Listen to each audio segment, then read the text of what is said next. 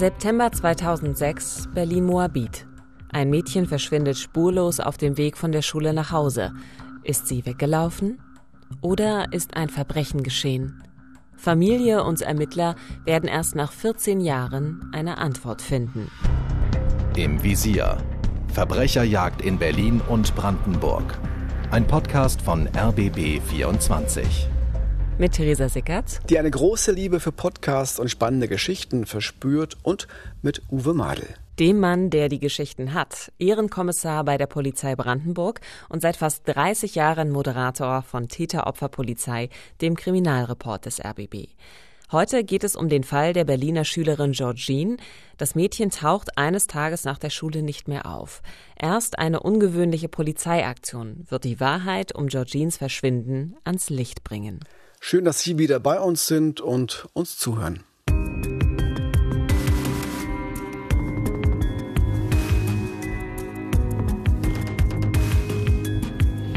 Es ist der 25. September 2006 in Berlin-Moabit. Georgine ist 14 Jahre alt. Ein fröhliches Mädchen mit einem großen Traum. Sie möchte Model werden und Schauspielerin. Und ihr Traum könnte sogar wahr werden. Denn sie ist zu einem Casting eingeladen für eine kleine Rolle in der Fernsehserie Türkisch für Anfänger. An jenem Montag im September soll Georgine sich noch einmal bei der Agentur melden, gleich nach dem Unterricht will sie anrufen. Doch der Anruf bleibt aus. Irgendwo, auf dem Weg von der Schule nach Hause ist Georgine an diesem Nachmittag verschwunden. Sie fährt wie immer mit dem Bus M27 und steigt an der gewohnten Haltestelle in der Perleberger Straße Ecke Rathenower aus. Von dort sind es nur noch 200 Meter bis nach Hause. Die Familie aber wartet vergeblich mit dem Essen auf sie. Noch am selben Tag meldet ihre Mutter sie bei der Polizei als vermisst.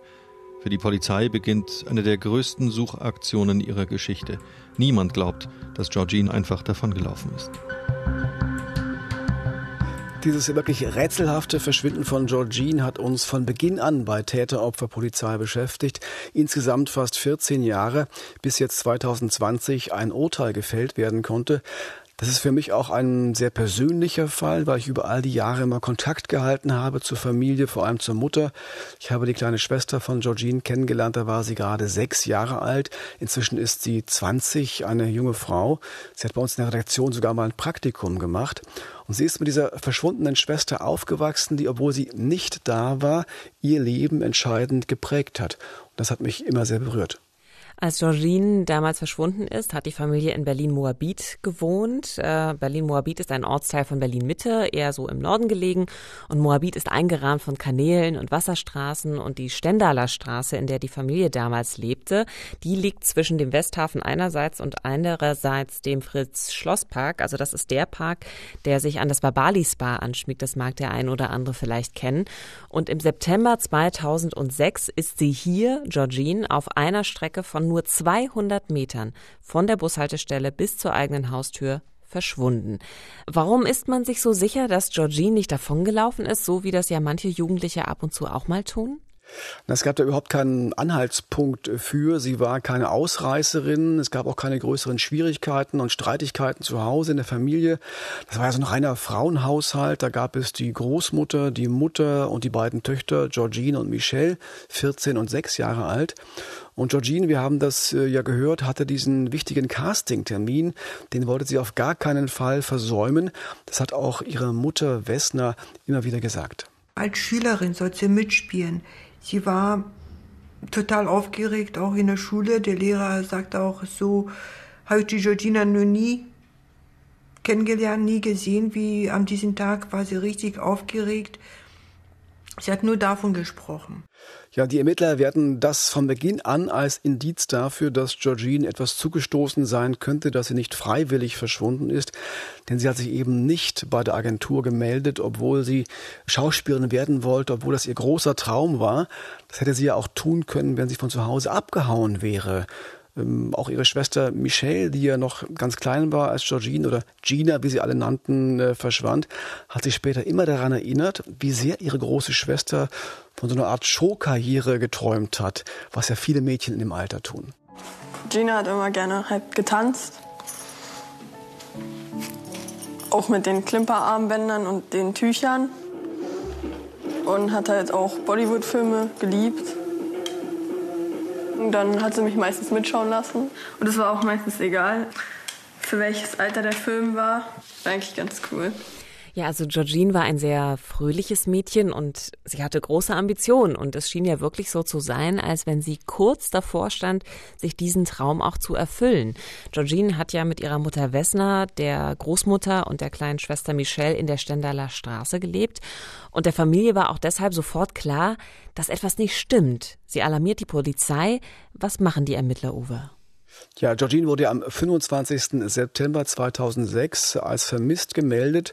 Nur zwei Tage später schon übernimmt die sechste Mordkommission die Ermittlung. Das zeigt, wie ernst die Fahnder diesen Fall nehmen und dass sie auch vermuten, dass hier ein Verbrechen geschehen sein könnte und Georgine vielleicht irgendwo festgehalten wird. Es beginnt darauf äh, eine der größten Suchaktionen in der Geschichte der Berliner Polizei.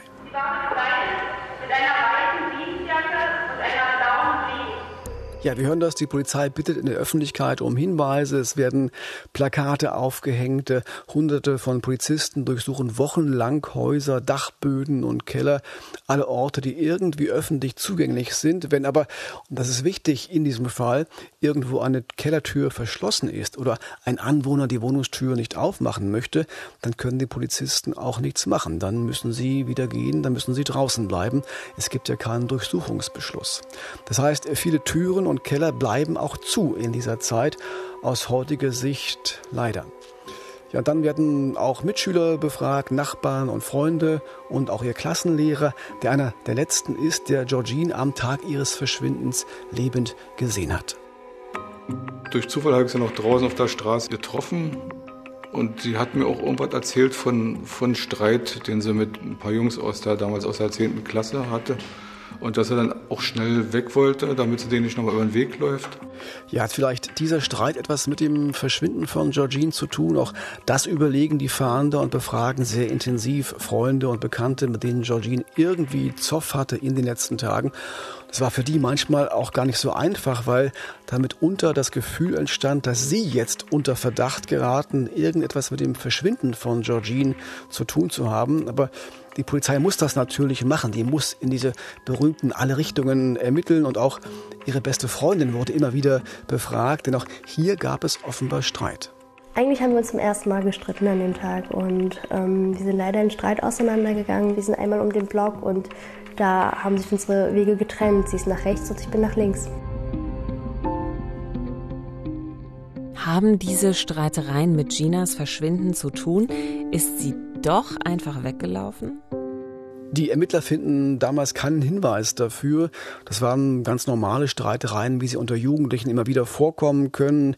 Ich habe mit der besten Freundin von Gina viele Jahre nach dem Verschwinden von Georgine ein langes Gespräch geführt, bei dem sie immer wieder in Tränen ausbrach, weil sie sich diesen letzten Streit offenbar nicht verzeihen konnte, weil sie sich immer wieder gefragt hat, was wäre, wenn? Was wäre, wenn wir uns nicht gezofft hätten und gemeinsam nach Hause gefahren wären? Wäre Georgine dann vielleicht noch da? Wie geht's denn dann weiter? Also erstmal gibt es ja keine Spur. Was, was machen die Ermittler? Was finden sie weiter heraus? Können sie was herausfinden? Sie versuchen natürlich ähm, genau zu rekonstruieren, was macht Georgine nach der Schule, wohin geht sie und sie finden viele Belege dafür, dass das Mädchen wie immer ganz normal nach Hause gefahren ist, dorthin, wo die Großmutter mit dem Mittagessen gewartet hat. Sie nahm wie immer den Bus und stieg auch an der normalen Haltestelle aus, wie uns Bernhard Jass, der Chef der sechsten Mordkommission, erzählt, für den auch dieser Fall immer etwas Besonderes war. Unsere Erkenntnis, dass Georgine an diesem Montag gegen 13.50 Uhr ähm, den Bus an der Perleberger Straße, Ecke Rathenower, verließ, ergibt sich für uns nicht nur aus den Aussagen der Mitschüler, Zeugen könnten sich ja theoretisch auch irren. Dies wird auch belegt durch äh, die Daten, die wir über ihr Handy erhalten haben. Dieses befand sich in diesem Bereich und wurde dann circa 15 Minuten später, nachdem sie den Bus verließ, auch in diesem Bereich ausgeschaltet. Das heißt, die Ermittler wissen, Georgine ist an dieser Haltestelle garantiert ausgestiegen, nur 200 Meter von ihrer Wohnung entfernt. Und etwa eine Viertelstunde später wird ihr Handy genau in diesem Funkzellenbereich Stendaler Straße ausgeschaltet und bleibt ab da für immer stumm? Ja, das war so, das Handy ist nie wieder irgendwo eingeloggt worden und die entscheidende Frage ist, was ist da passiert? Was geschah, nachdem sie den Bus verlassen hat?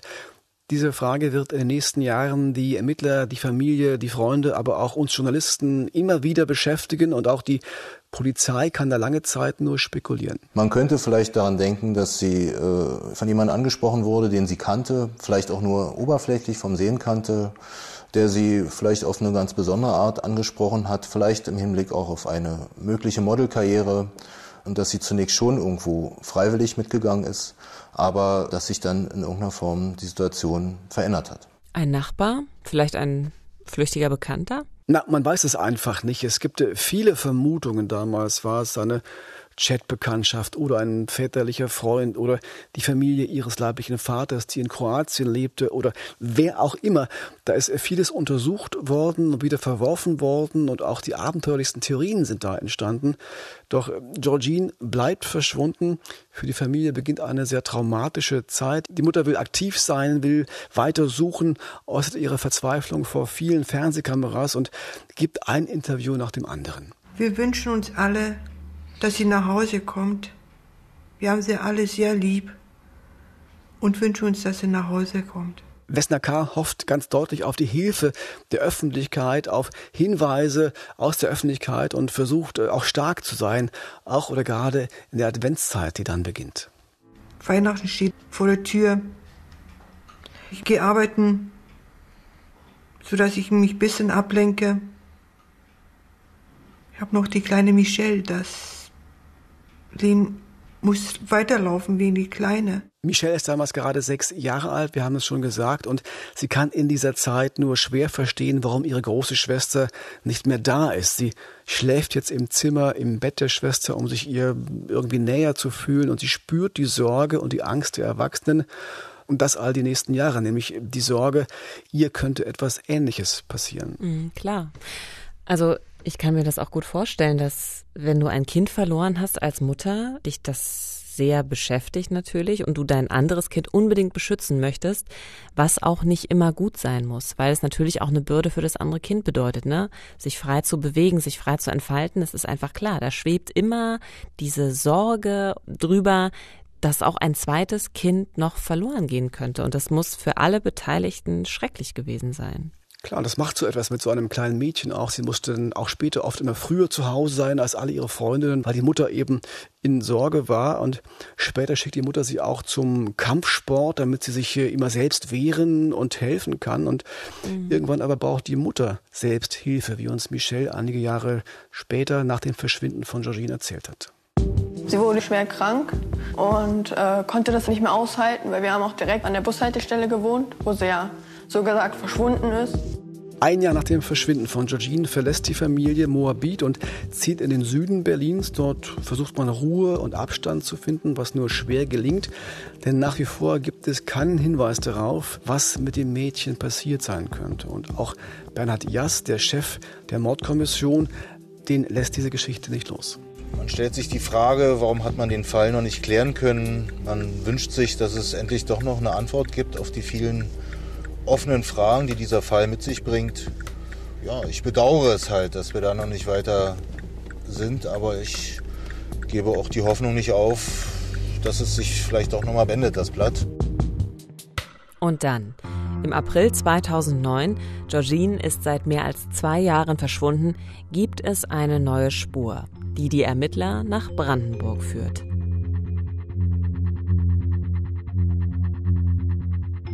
Im September 2006 verschwindet die 14-jährige Schülerin Georgine spurlos auf dem Heimweg nach der Schule, nur 200 Meter von ihrer Wohnung entfernt. Mehr als zwei Jahre lang fehlt von ihr jede Spur. Doch jetzt gibt es neue Hoffnung. Uwe, was ist passiert? Ja, zu dieser Zeit werden erstmals ähm, auch in anderen Fällen äh, speziell ausgebildete Hunde eingesetzt, sogenannte Man-Trailer, also Personenspürhunde. Die sollen die Duftspuren von Menschen auch nach langer Zeit noch verfolgen können und haben in anderen Fällen schon erstaunliche Erfolge erzielt. Ausgangspunkt unserer Suche mit den Hunden war genau die Straßenecke, an der Georgine zuletzt gesehen wurde. Dort haben wir mit, den, mit der Arbeit der Hunde begonnen das war eine Suche, die sich über mehrere Tage erstreckte, die wir etappenweise durchführten. Auch ähm, einzelne Etappen wurden ja auch wieder mit, immer wieder mit verschiedenen Hunden durchlaufen, um zu schauen, ob wie sicher das Ergebnis ist. Und wo führen die Hunde die Ermittler hin? Es geht erstmal quer durch Berlin bis ins nördliche Umland nach Brandenburg in die Nähe von Mühlenbeck. Dort liegt das Schloss Damsmühle, ganz idyllisch am Mühlenbecker See. Das Gelände gehörte bis zum Mauerfall der Staatssicherheit. Es gibt dort verlassene unterirdische Bunker.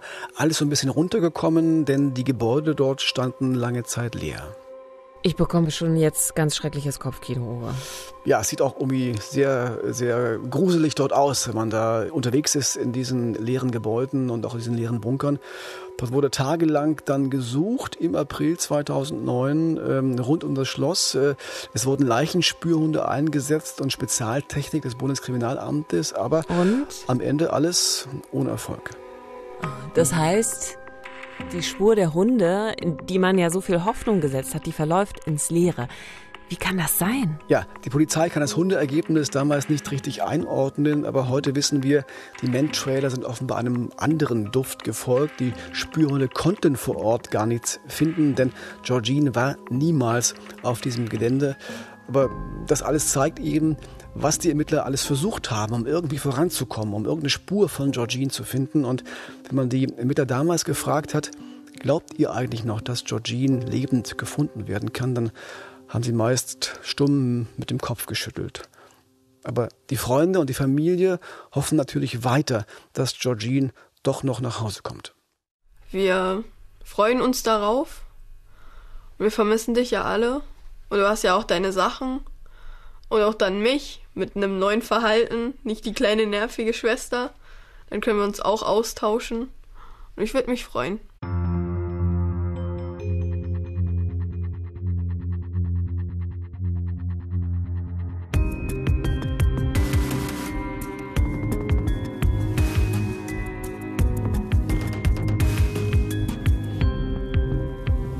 Die Schülerin Georgine aus Berlin-Moabit wird seit September 2006 vermisst.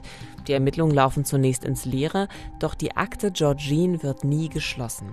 Im Jahr 2018, also zwölf Jahre nach ihrem Verschwinden, meldet sich ein Mann bei dem Polizeinotruf 110 und teilt mit, dass er Angaben machen könnte zum Fall Georgine. Hallo? Ja, hallo, haben Sie Stift und Papier? Ja, der Anrufer wirkt sehr aufgeregt am Telefon und erzählt dann, dass er eben wüsste, wo das Grab von Georgine wäre. Da ist äh, etwas, was Sie, glaube ich, interessieren könnte. Also, äh, ich habe es nicht getan, aber dort finden Sie sie auf. Wir haben in den vielen Jahren seit dem Verschwinden von Georgine immer wieder über diesen Fall berichtet, auch um die Erinnerung an das Mädchen wachzuhalten und mögliche Hinweisgeber zu ermutigen, sich doch bei der Polizei zu melden. Und natürlich berichten wir auch jetzt wieder über diese neue Entwicklung, denn Bernhard Jass, der noch immer die Ermittlungen in diesem Fall leitet, scheint den Anrufer sehr ernst zu nehmen. Er zeigte nicht irgendwelche Anzeichen für eine Alkoholisierung oder Beeinflussung durch Drogen, auch keine Hinweise auf, auf psychische Auffälligkeiten. Insgesamt war er sehr klar in seinen Angaben und wirkte auch sehr überzeugt von der Botschaft, die er darüber brachte. Das ist der Brieselanger Wald. Das sind die Koordinaten, die exakten Koordinaten von dem Grab. Ja, also fahren Jas und seine Kollegen dann in dieses Waldstück. Brieselang ist etwa 30 Kilometer von dem Ort entfernt, wo Georgine zuletzt lebend gesehen wurde, an dieser Bushaltestelle in Moabit. Und vor Ort sind auch viele andere Journalisten, um über diese Sucharbeiten zu berichten. Das war ja damals tagelang in den Schlagzeilen, zumindest in Berlin und Brandenburg. Und? Ist das dann jetzt endlich die Spur, auf die die Ermittler und die Familie umso mehr natürlich schon so lange gehofft haben? Ich sage das mal so, ich glaube, nicht alle, aber ein paar Polizisten vor Ort wussten, dass man trotz der intensiven Suche auf diesem großen Grundstück gar keine Spur finden konnte von Georgine, weil der Anrufer vielleicht doch nicht so anonym war, wie es uns die Ermittler erzählt haben. Wichtig war für die Polizei, dass wir Journalisten da waren, dass wir über die Suchmaßnahmen berichtet haben, dass im Radio, im Fernsehen, in der Zeitung, im Internet die Fahndung nach Georgine wieder zum großen Thema wurde. Und das hat mit einer anderen Spur zu tun, die die Ermittler damals parallel verfolgt haben und das ganz heimlich, ganz verdeckt. Davon wusste damals niemand etwas denn es ist die Spur des Mörders von Georgine und diese ganze Suchaktion in Brieselang, behaupte ich jetzt mal, war so etwas wie eine polizeiliche List.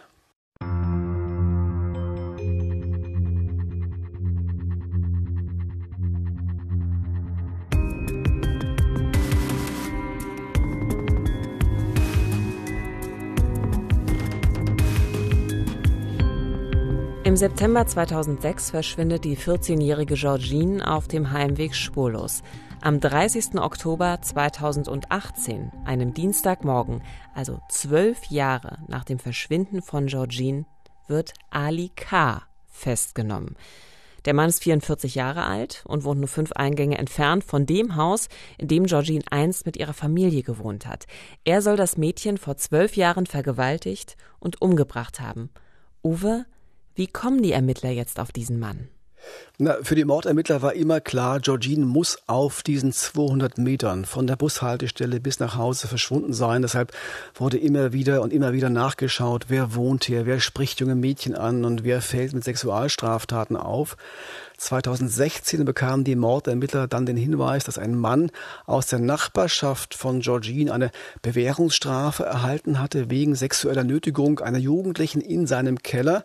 Und das war genau das Szenario, was die Ermittler bei Georgine immer so vor Augen hatten.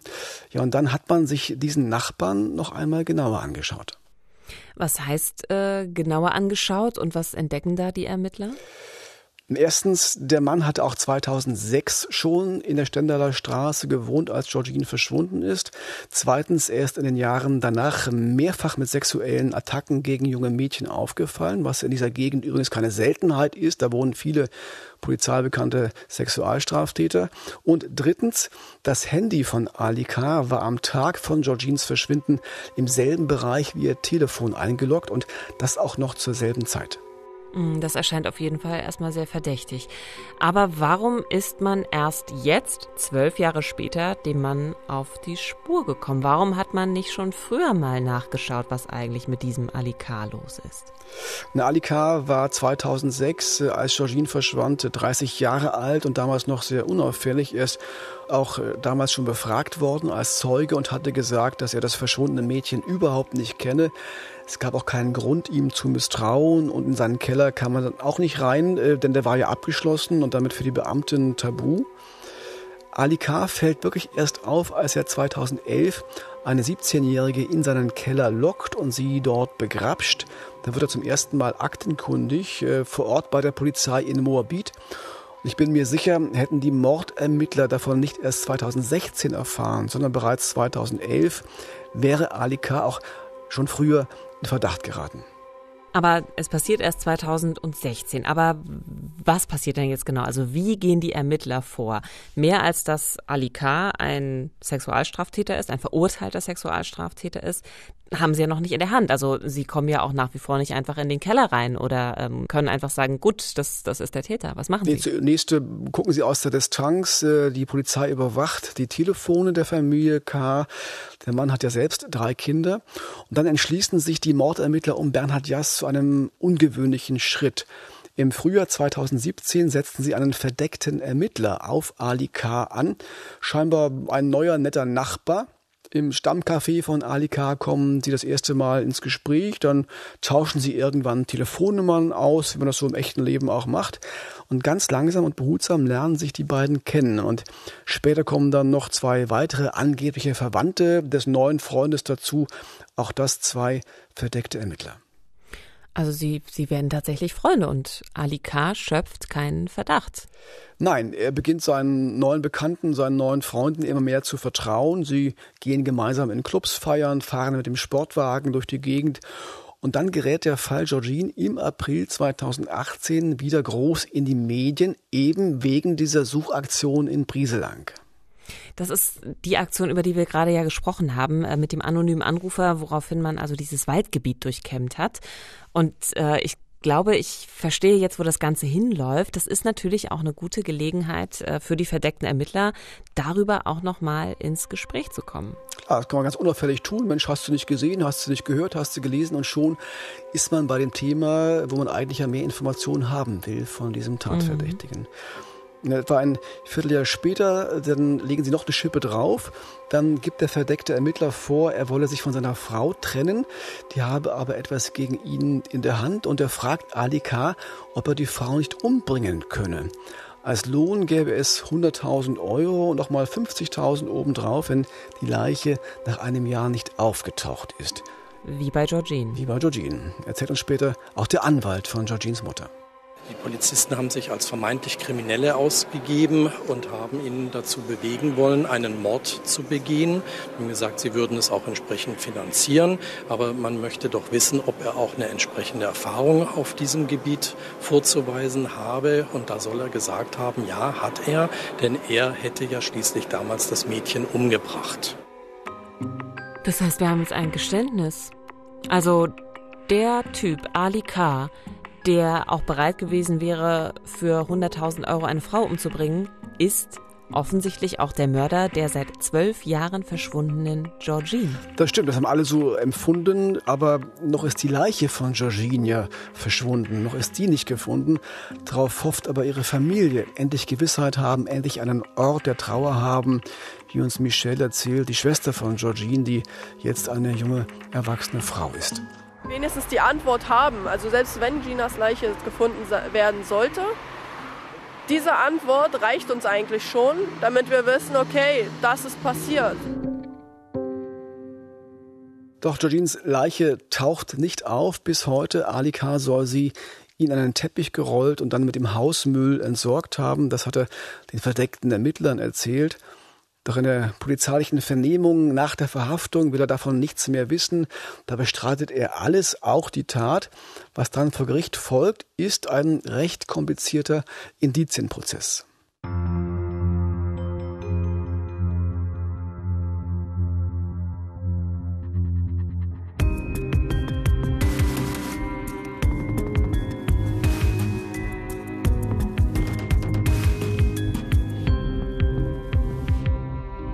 Im September 2006 verschwindet die Schülerin Georgine. Nach zwölf Jahren kommen verdeckte Ermittler Ali K. auf die Spur. Ihnen gegenüber hat er nämlich geplaudert, er habe das Mädchen umgebracht. Und jetzt steht der Mann vor Gericht, doch Ali K. schweigt. Es gibt keine Leiche, keine Fingerabdrücke, keine DNA-Spuren. 4692 Tage nach Georgines Verschwinden im Juli 2019 setzt Ali K. zum ersten Mal in dem Fall auf der Anklagebank. 44 Jahre alt, braune Augen, kurzes, graumeliertes Haar, er trägt ein grünes Karohemd. Und wie läuft der Prozess jetzt ab, Uwe? Es war ein komplizierter Prozess mit unklarem Ausgang und die spannende Frage war von Beginn an, wie wird das Gericht das ja nicht ganz freiwillige Geständnis gegenüber den verdeckten Ermittlern bewerten? Insgesamt waren es dann 46 Verhandlungstage und mit dabei war auch unser RBB-Gerichtsreporter Ulf Morling.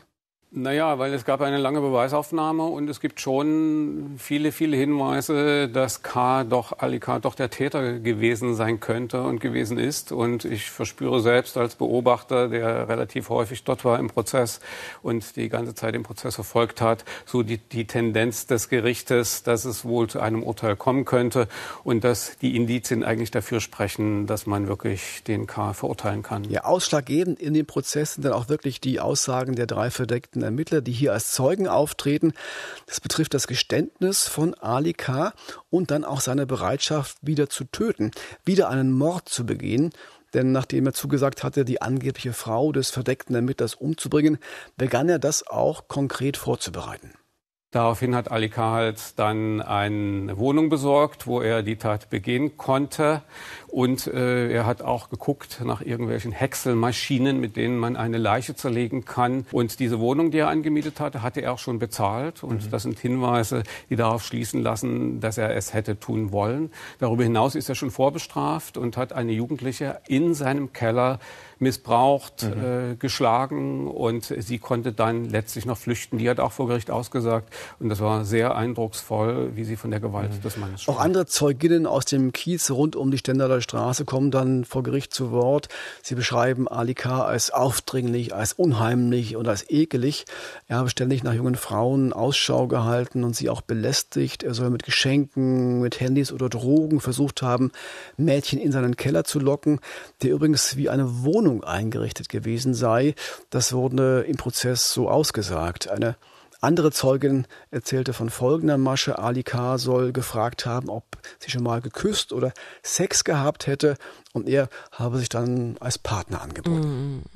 Also für die Familie von Georgine muss der Prozess schlimm gewesen sein. Also all diese schlimmen, wirklich teils ekligen Details zu hören, gerade weil ein Indizienprozess ja auch so schwierig ist. Also man weiß eben nicht genau, kommt es zu einer Verurteilung oder ist es einfach nur ein schwerer Weg mit vielen belastenden Erinnerungen und am Ende folgt ein Freispruch.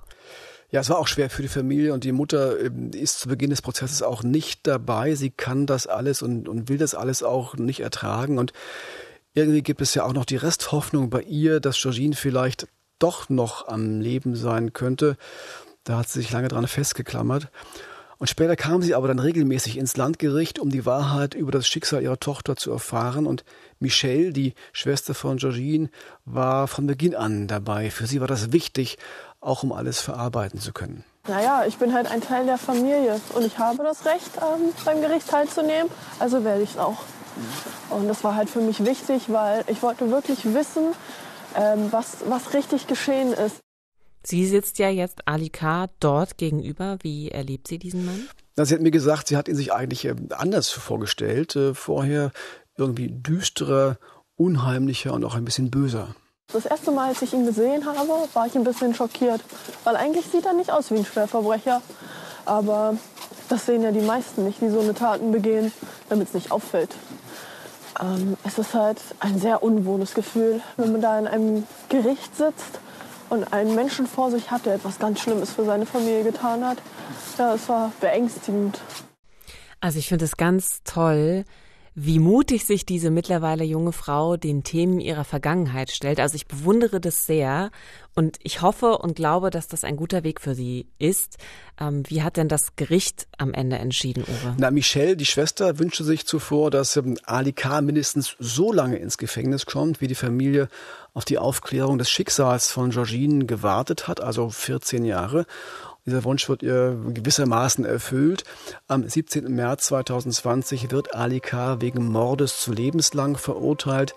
Die Angeklagte habe dem verdeckten Ermittler Dinge erzählt, die nur der Täter wissen könne und das so detailliert und ausführlich, dass man sich das nicht alles ausdenken könne, so die Staatsanwaltschaft im Prozess und das Gericht sah das offenbar ebenso, wie uns Raphael Neff erzählt, der Sprecher des Landgerichts.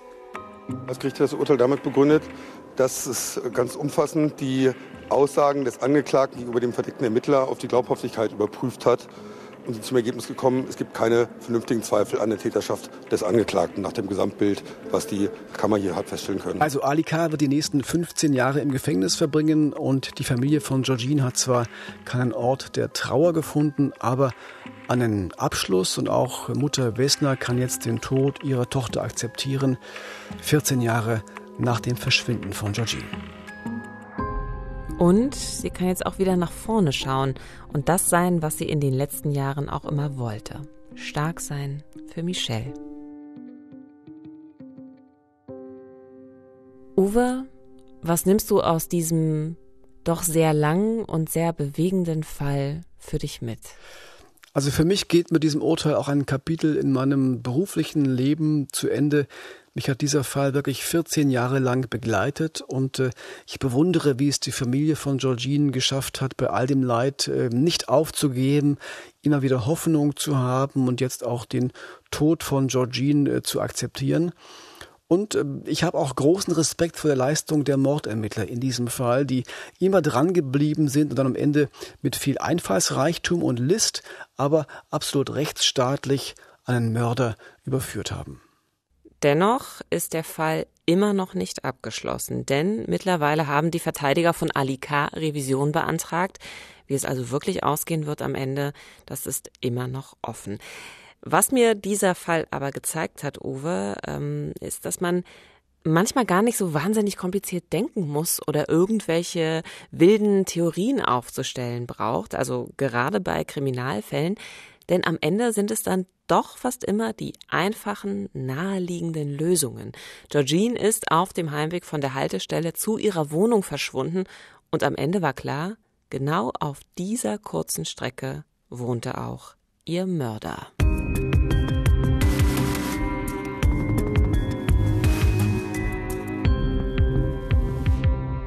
Nächste Woche beschäftigen wir uns mit einem weiteren spektakulären Fall.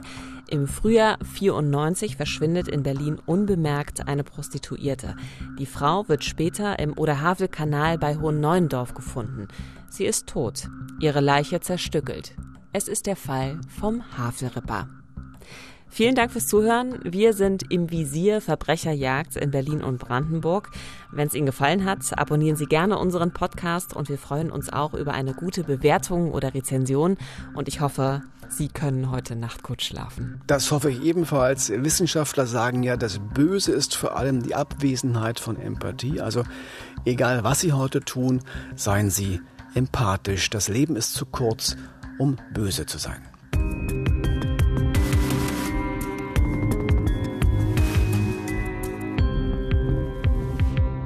Visier. Verbrecherjagd in Berlin und Brandenburg ist eine Produktion des RBB. Redaktion Silke Lessmann und Uwe Madel. Projektleitung Nina Siegers. Moderation und Manuskript kommen von mir, Theresa Sickert. Neue Folgen gibt's immer sonntags auf allen gängigen Podcast-Plattformen und auf rbb24.de. Im Visier. Verbrecherjagd in Berlin und Brandenburg. Ein Podcast von RBB 24.